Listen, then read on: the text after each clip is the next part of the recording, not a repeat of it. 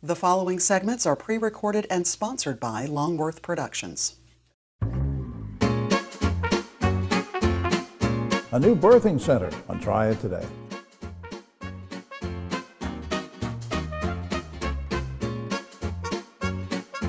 Hello, everyone. I'm Jim Longworth, and welcome to another edition of Triad Today, coming to you once again from the beautiful Ciener Botanical Garden in Kernersville. We'll tell you more about them later on, and later on is when the roundtable shows up, and we'll get into Lord knows all sorts of controversies with those guys, so stay tuned for that. Between now and then, some great guests and important information coming your way. None more important than this topic, and this is where I want to start. We're going to talk about a new birthing center with our special guest, first time visitor with us, Dr. Natalie Rochester's OBGYN with Novant Health Woman Care in Kernersville. Good to see you, Doc. Thank you, sir. Likewise. Um, now, later this month, Novant Health is opening a new birth center at Kernersville Medical Center. So, what can pregnant ladies and prospective moms expect to see and experience at this new center? So, to give us an idea. Sure. Our new birth center is a brand new model to the area when it comes to labor and delivery. And what that means is we have something called an LDRP. And that means our moms labor, deliver, and recover and spend their postpartum time in a, a larger family size room. Those rooms are equipped to provide comforts to dad, um, babies can stay in the rooms with mom, and so we keep moms and babies together throughout their hospital stay. Yeah, because the traditional way was, you know, you're separated from the baby. Yep. The, uh, certain family members can't come in to see you. Yep. You have different staff running in and out all the time. Yep. But this is this is a new concept. This is more of a family model. It, it's not a new concept, but it's a new concept to our area, um, and it really focuses on providing care for the family and, and keeping the birth experience more as a family and keeping that family unit together. Um, moms will have a nurse that stays with them throughout the, the time, whether they're in labor or have delivered or, or postpartum. Right. Um, and baby nurses as well. And so there's some continuity in the team that takes care of you, um, but it's also an environment that feels a lot more like home. So it, it provides a, a, need that our community needs. Yeah, and less stressful for the, the mom and the family, I Absolutely. would imagine, too, right? Absolutely, Just yes. to know you've got that continuity going and the same faces are looking at you. Absolutely, yes. Yeah. Uh, now, what, let me veer off into a personal thing for a second. What brought you to this area and to Kernersville Medical Center specifically? Well, it's been a very winding road to get here, but um, long story short, I'm a North Carolina native, um, was born and raised in eastern North Carolina. Um, I trained at East Carolina, did my residency in Roanoke, Virginia, and my husband and I moved to Colorado and spent almost 10 years there. Where'd you meet your husband? Um, we actually were set up on a blind date when I was in college. Wow. In Raleigh, North Carolina. So yeah, we jokingly kind say of, kind of reckless for a doctor, isn't we it? we jokingly say that was the last blind date we will ever go on. so yeah, but um, Did somebody tell me that you trained in robotics? I did train in robotics. What, now, what is that about? So the robot is a tool that we use to do laparoscopic surgery. Um, one example is a complicated hysterectomy, but the robot tool allows us to have um, four hands instead of two. And so we're able to use the robot to improve manipulation of tissue and improve angles and safety when we're doing complicated GYN surgery. And is, now, is the recovery time less? Is it less invasive, or what? I mean, what's So it is less invasive when compared to needing an open incision or an open abdominal wound, yes. right? What? Uh, who were very quickly? Who or what led you to a career in healthcare and medicine? Was there somebody in your family that was a doctor or a nurse or what? So absolutely no medical professionals in my family. Um, my mom says jokingly, I came out wanting to be a doctor. Um, I would say that the person that gave me the bug for obstetrics would be my grandfather, who was a dairy farmer. Um, so my first delivery experience, my birth, first birth experience was actually on his farm. I was about 10 years old, and um, there was a twin set of calves, and the second calf was not delivering easily, and I watched as he helped that, that cow deliver. And Wow. So yeah, I think that's when the, the initial bug for obstetrics um, was caught, but I've always played doctor as a small child. Well, I, I played a lot of doctor too, when I, but that's a whole nother, we're not going to get into that. Uh, so anyway, very quickly, before time runs out, Sure. you're excited about this birth center, aren't you? I'm very excited. I'm excited to have an opportunity for our low risk obstetric moms close to home. That's great. Up on screen, novanthealth.org is the general website, and I believe you can call for Novant Health Woman Care. There's a 765-5470 number. Is a good general number to call for that. Dr. Rochester, will you come back and see us sometime? Absolutely. If you would have me, I would be happy to be here. Thank you. Thank you. All right, we'll be right back after this.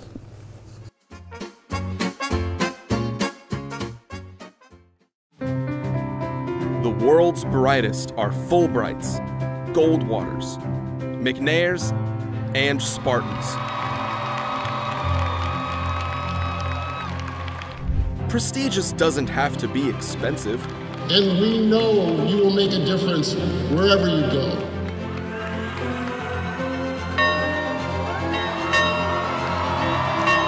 UNCG. Find your way here.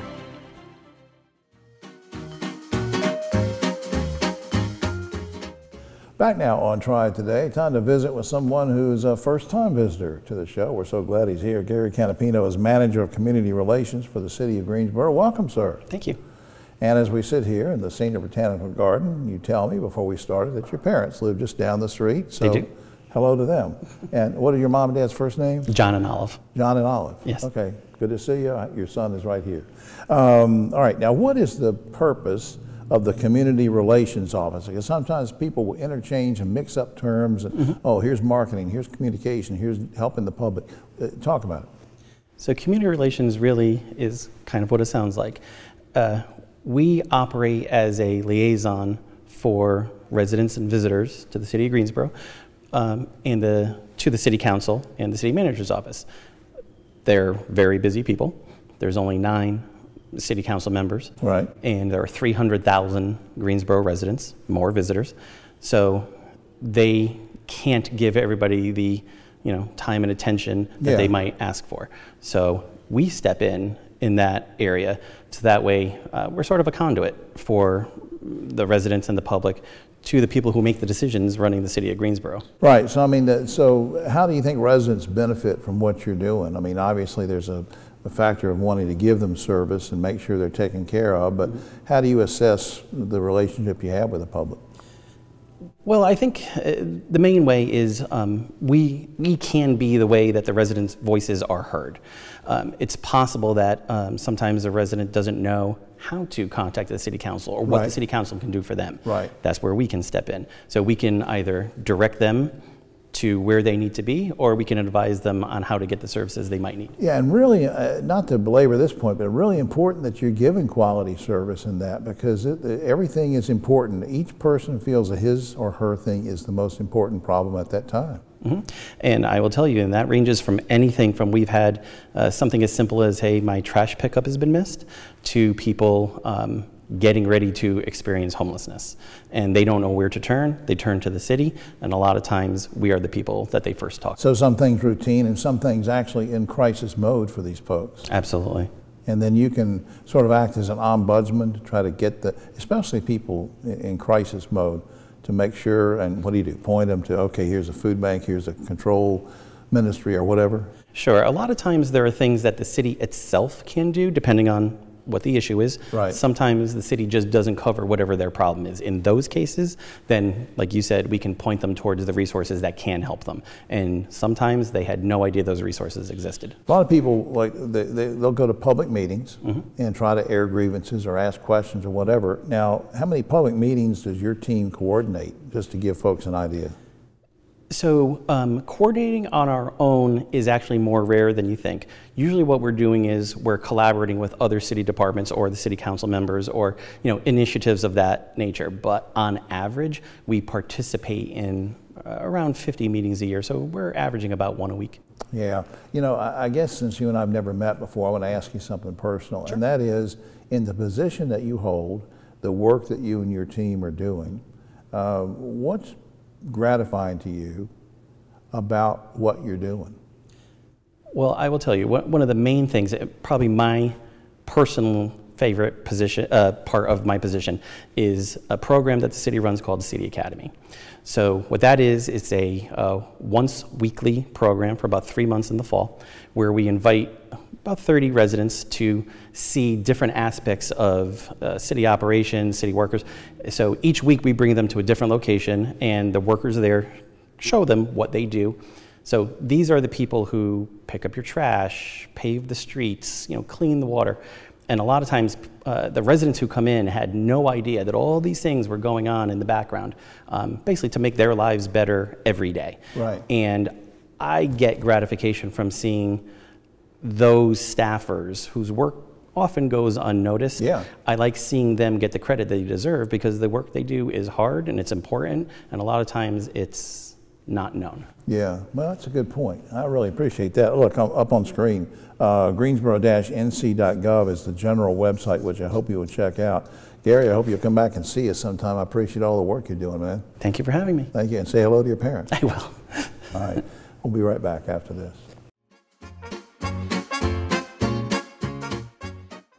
Hi, I'm Jim Longworth, reminding you that Triad Today is now streaming on WFMY Plus, available free on Roku and Amazon Fire TV.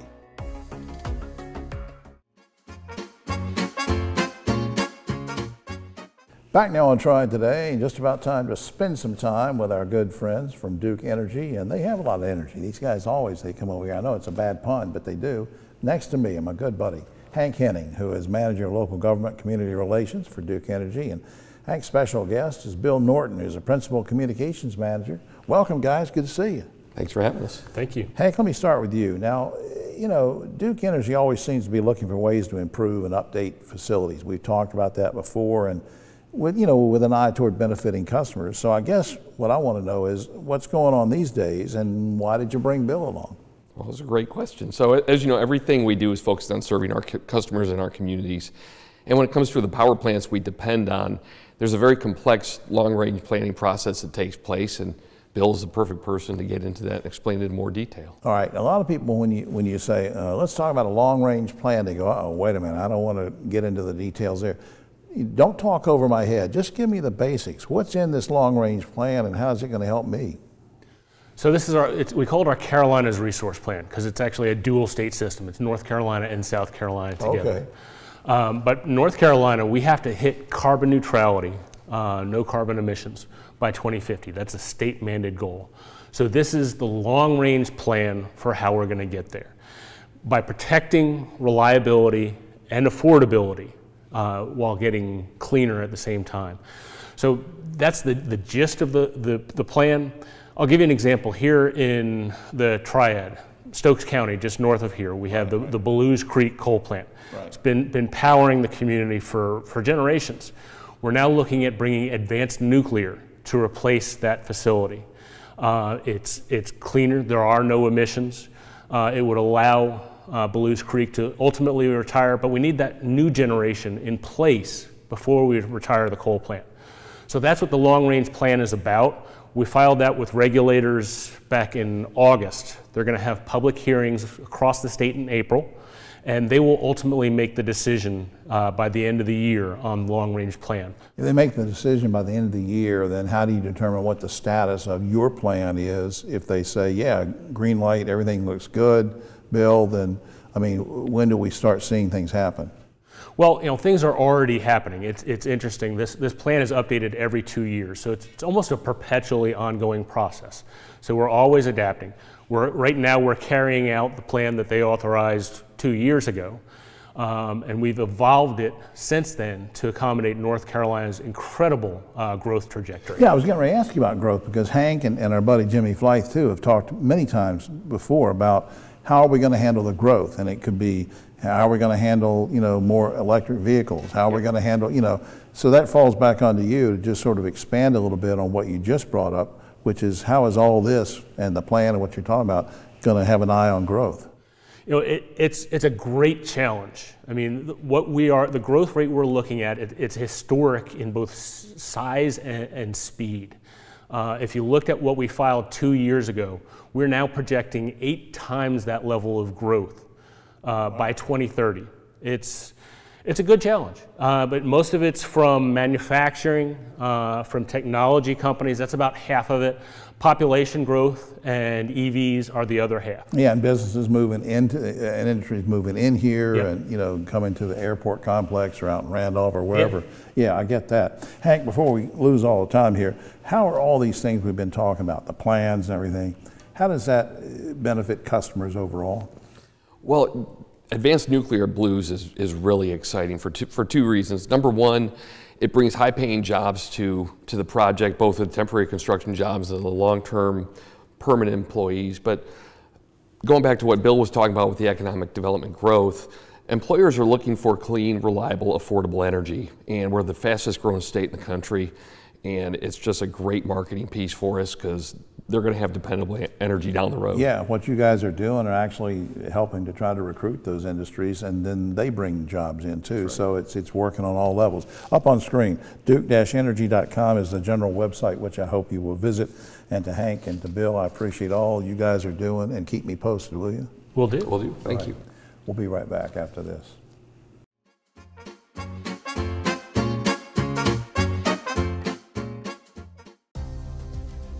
North Carolina's economy is growing, bringing new businesses and opportunities. The need for electricity is growing too. At Duke Energy, we're meeting the challenge, providing even more electricity that's cleaner, reliable, and that stays affordable.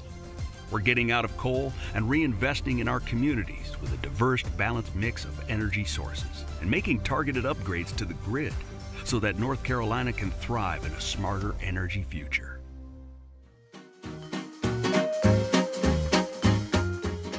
Back now on Triad Today, and uh, if we were ever going to be accused of being provincial on this show, boy, are we provincial right now, because just down the street is Kerner's Folly from Ciener Botanical Garden. So we thought, well, let's get somebody in to tell us about Kerner's Folly and much more that's going on. With me now, Susanna Rich Mallet. She's Executive Director of Kerner's Folly. Welcome.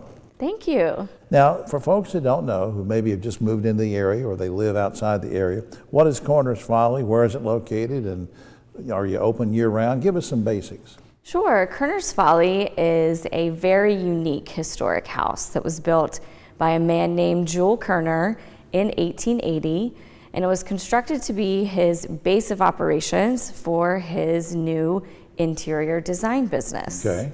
So it's now a historic house museum. We're open year round for self guided tours. We offer guided tours and programming for children, families, adults, and the community. And the house itself is hard to describe Yeah, with words. that's, I was going to ask you. It was originally designed with only 11 rooms and a central open carriageway. So that was when Jule was a bachelor. Later in life, he married and his family grew. They had two children, and the house transformed from 11 rooms to 22 rooms, which created Wow.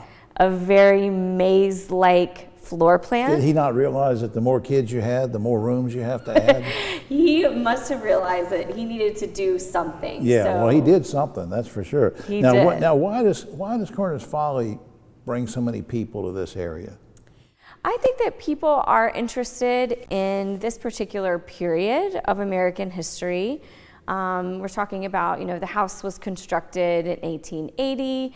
It was lived in full time by the family until the mid 1920s. It was a time of great change in America. There was a lot going on. There were many new technologies available. Um, the tobacco industry, the textile industry, the furniture industry in North Carolina, they all had an impact on how Kerner's Folly was shaped and formed. All right, now uh, you sent me an email one day and said there's something really big going on on April 1st. Tell me about it. We are thrilled to host a grand opening celebration for the new John and Bobby Wolf Visitor Center, which is um, a big extension of our campus in partnership with the town of Kernersville. How is that going to help or impact uh, the town of Kernersville and the area around it to have that that uh, visitor center? We believe it will have a very positive impact, both on the Kerner's Folly experience. So we've upgraded a lot of our facilities, um, including a paved parking lot, improved um, programming space that is accessible to all people. So once uh, once it's open, I can go in there and find out what's going on around in Kernersville and, and, and the area, and so it's, it's sort of a good place to start, right? It's a wonderful place to start for people traveling from out of town who are coming to Kernersville, to the Piedmont Triad, and looking for a lot of fun things to do, and not just Kerner's Folly, but of course, we'll be happy to share information about that too. All right, before time gets away, I just want, I wanted to ask you, is there anything coming up you want to mention that, uh, that's, that's going on or might happen at, at Kerner's Folly that we want to look forward to? Sure. As part of our opening on April 1st, we'll be hosting our first free admission community day. So that's going to kick off at 11 a.m. Plus, this spring, we're looking forward to our sixth annual Spring Vintage Market, which is Saturday, April 20th, starting at 9 a.m. Vintage market, okay. I'm vintage, so I guess I should go. You're invited. All right, so up on screen, kernersfolly.org is the general website, which I hope you will check out for more information. And our thanks to Stephanie Pace Brown and her team at Visit Winston-Salem for suggesting this uh, topic. So you can go to visitwinstonsalem.com for more information about what's going on with tourism and all of that. Susanna, thanks for all you're doing. Thank you so much for having me. All right, we'll be right back after this.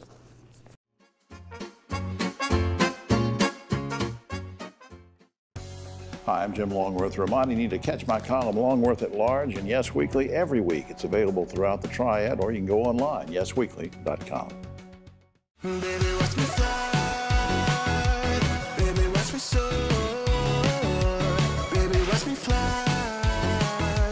I will open up the sky. Fly local, fly easy, fly PTI. Spartans are the teachers, artists, nurses, scientists, and leaders who build our communities.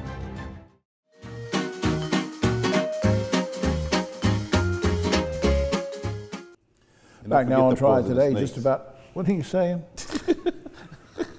We're trying to do the show. Okay. All right, back now, back now on Triad Today, and uh, mm, and uh, anyway, all right. So it's about time for the roundtable. But a quick shout out to the good folks at uh, Ciener Botanical Garden, and uh, you can do anything out here, and even be with Keith. All right. Uh, on my right, but always political left, Ogie Overman, Dave Briggs, we call Mr. Theater, who's executive director of the High Point Theater. Keith just had a rough time with a eye procedure. So the reason I'm mentioning that is because if he starts blinking, I don't want anybody to think he's winking at me because there's nothing going on between the two of us. All right, guys, uh, the primary has passed. Let's talk about a couple things, a couple runoffs. Addison McDowell and Mark Walker are going to have a runoff on May 14th for the 6th District, which includes most of the triad. Uh, surprised about that, and who wins the runoff? Ogie. I'm not really surprised. I mean, Trump's endorsement carries so much weight, bad as I hate it, and they cannibalized Mark for saying a few disparaging words against Trump, and he spoke the truth. Yeah. So I think he'll he'll draw from the rest of them, and I hope he beats that Dorothy who, who Addison think, or whatever you, who do you, you think that Castelli and Hines and some of them will come over and support Mark? I do. yeah, I think they will. Dave. Yeah, I, I think Mark Walker is going to win this one just from name recognition. Uh, Addison McDowell is, is pretty young. Um, I'm, I was really disappointed in the, the results with, with Castelli because I don't think he did a very good ground game. But uh, it should have probably been Walker and Castelli in a runoff All rather right, than McDowell. Keith. Walker's going to win it. You think so? No Absolutely. problem. No problem. Who's he going to draw from? He's going to draw from the other candidates that dropped out. All right, uh, and uh, just very quickly, the lieutenant governor race, I mentioned that because uh, Forsyth, Winston-Salem uh, DA Jim uh, uh, O'Neill is running uh, in a runoff with Hal Weatherman on May 14th for the Republican uh, side of things. Who wins that one, Ogie, quickly? I think Weatherman is less Trumpy than that O'Neill guy, so I, I hope he wins. Dave. Yeah, I think Weatherman's probably the better candidate here. Uh, I like Jim O'Neill fine. He's done a great job in Forsyth County. Right, Keith? I kind of think Jim O'Neill is going to win. Yeah, I think so too. Yeah, we'll see I what happens. And, and whoever wins that, by the way, will face Rachel Hunt, who is the daughter of former Governor Jim Hunt. All right. That's going to be a tough one. Speaking of Congress, North Dakota voters will go to the polls in June to decide if there should be age limits on members of Congress. Now, guys, we talked about term limits before, but would you like to see a maximum age limit for members of Congress? Ogie.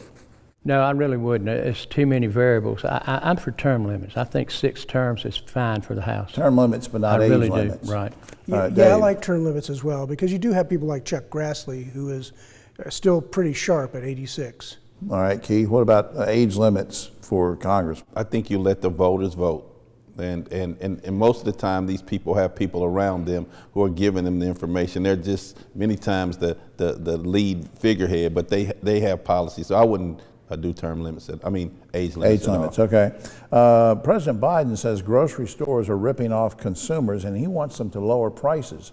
The thing is, is it going to get to the point where he freezes food prices like we've had done with, you know, gas prices during hurricanes and things like that? He doesn't want gouging, uh, price gouging. What do you think? Should Biden freeze the food prices? I hope he does. There is so literally so much gouging. I mean, from week to week, you can see gouging going on, and it's, it's crazy. I hate, I hate to say this, but this all started in the first week of his presidency when he shut down all the uh, uh, oil and gas production. The price of diesel is expensive. If it costs you more money to ship your goods from the farm to the table, then the price of the, at the grocery store is going to go a up. ripple effect on that. Keith, would you like to see a, a freeze on food prices? Well, I, I like to see uh, uh, some disparity on food prices. Like many poor people have to go to these uh, to these places where the food is not healthy. If you are not rich, you can't go to the Whole Foods and things like that. So there should be some disparity amongst food. All right. Massachusetts educators are asking the governor to send the National Guard into public high schools in order to quell what they say is, quote, shocking levels of chaos and violence. Guys, you think it's okay to use uh, troops to keep our schools safe? Okay. You know, that's such a sad situation, Jim. I mean, that's pitiful. Massachusetts, of all places. Uh, No, I don't think, I, somehow there's got to be a better solution than sending the National Guard in your schools.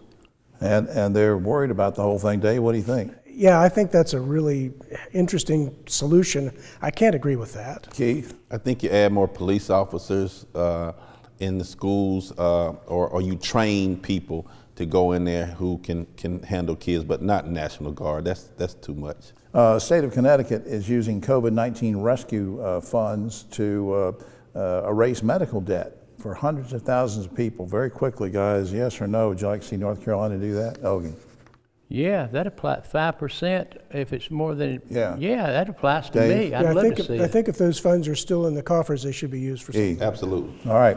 All right. Finally, a Pew Research poll says that 80% of women take the last name of their husband, while only 8% of men take the last name of their wife.